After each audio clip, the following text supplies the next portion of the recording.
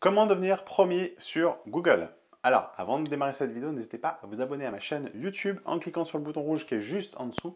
Et n'hésitez pas à recliquer sur la petite cloche qui vibre pour recevoir les notifications de mes prochaines vidéos. Alors, comment devenir premier sur Google? Il y a quelques astuces, il y a quelques techniques, quelques manières de faire. Il faut savoir que, et ça c'est une vérité absolue, c'est que tout le monde peut réussir à devenir premier sur Google. J'ai très récemment vu euh, sur une des vidéos de euh, Nicolas Laruelle, que je vous conseille d'aller voir, que je trouve le personnage très bien, et en plus il donne de très bons conseils sur l'entrepreneuriat et, tout ce qui tourne autour du marketing. Et en fait, il s'est fait lyncher parce qu'il a sorti une formation qui expliquait comment devenir numéro 1 sur Google, ou comment classer son site premier sur Google. Et il y a certaines personnes qui sont dans le SEO, dans le référencement, qui sont dans des agences depuis des années, qui sont assis sur leur laurier, assis sur leurs acquis, et qui ne se remettent pas en question. Et ces gens-là sont venus lui cracher à la gueule ouvertement parce que, enfin en disant plutôt que c'était un mec euh, qui vendait du bullshit, qui, euh, si lui arrivait à se positionner premier en six mois, eux ils étaient curés, enfin bref, des trucs complètement bidons. Ce qui fait que ces personnes-là, j'ai rien contre elles, mais je me dis qu'au final, elles ne se remettent pas en question. Elles pensent avoir la science infuse, elles pensent tout savoir, parce qu'elles ont fait 25 ans d'études, elles sont plus, depuis 15 ans dans la même boîte, que ça y est, elles savent tout. Ces personnes-là savent tout. Peut-être, mais en tout cas, on ne sait jamais tout dans la vie et dans tous les domaines. Donc aujourd'hui, ce que je voulais vous expliquer, c'est qu'au travers du SEO, du référencement, vous pouvez tous et toutes réussir à être premier sur Google. Mais attention, ça ne se fait pas en, en un claquement de doigts. Bien sûr, vous avez plusieurs, disons, stratégies à mettre en place, plusieurs choses à mettre en place, ça ne va pas tomber du ciel.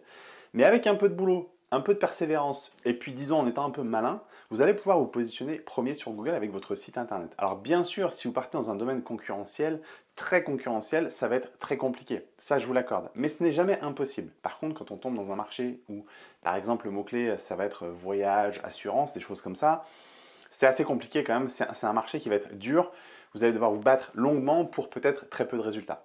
Ce que je vous conseille vivement, c'est d'adopter finalement une stratégie un petit peu différente. C'est au lieu de courir après vos mots-clés, c'est-à-dire aller chercher des mots-clés principaux, essayez de partir sur de la longue traîne. Alors qu'est-ce que la longue traîne? Ce sont en fait des expressions de mots-clés, des phrases tapées par les internautes dans Google qui veulent trouver réponse à leurs questions, par exemple, ou qui veulent peut-être s'informer sur un sujet, mais ils vont taper des mots-clés ou des successions de mots-clés bien précis. Et ça, c'est ce qu'on appelle la longue traîne.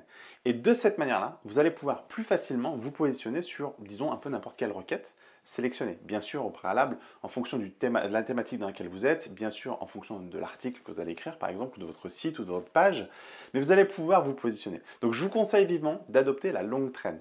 Et encore une fois, n'écoutez pas forcément ce que certains pourraient vous dire en, expliquant que le référencement, c'est fait pour l'élite, c'est fait pour les pros, le référencement, c'est compliqué, le référencement, c'est fait que pour les gens qui ont fait euh, des années d'études et qui, ont, euh, qui travaillent dans une boîte. C'est pas vrai. C'est absolument pas vrai. Et ces gens-là, je vous conseille de rester euh, derrière votre bureau et jamais vous remettre en question.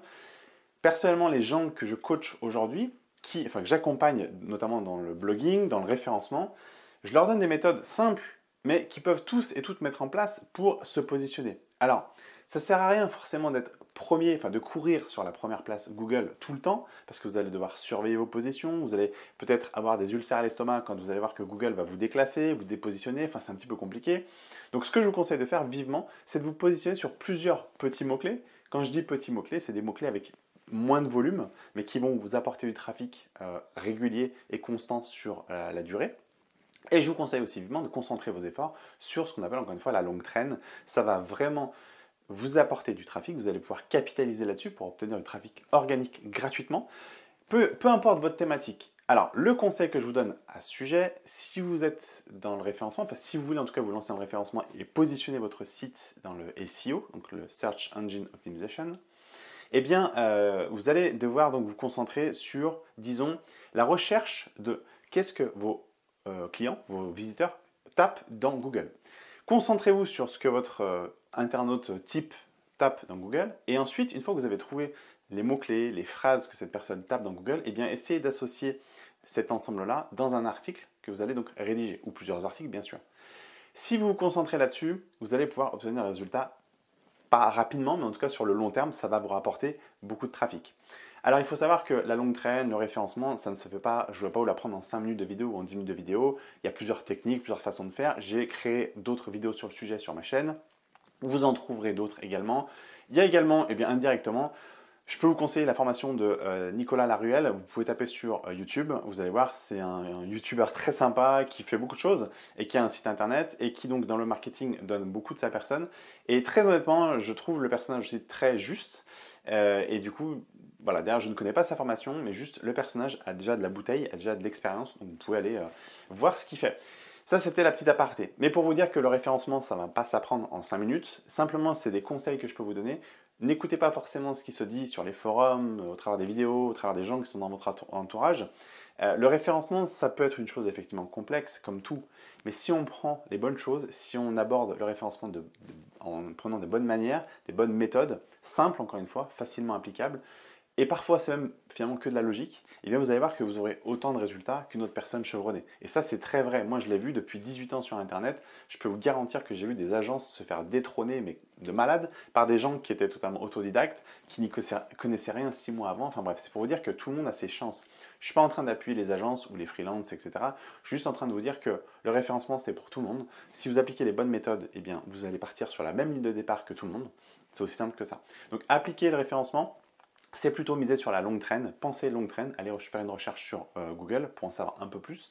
Misez sur la longue traîne sur votre site internet et vous allez voir que vous allez pouvoir assez facilement, suivant les thématiques, être dans les premiers résultats de Google. Ce n'est pas des conneries. Vous allez voir que si vous appliquez cette méthode-là, vous aurez de vrais résultats, disons rapidement, mais surtout sur le long terme encore une fois, et obtenir des visiteurs organiques, donc gratuits sur votre site internet. Voilà, c'était une petite parenthèse, euh, un petit retour aussi d'expérience, et puis euh, appuyer sur le fait que le référencement, c'est accessible à tous.